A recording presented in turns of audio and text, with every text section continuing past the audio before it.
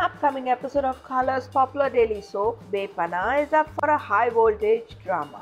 Aditya and Zoya's Dastane Mohabbat comes to an end.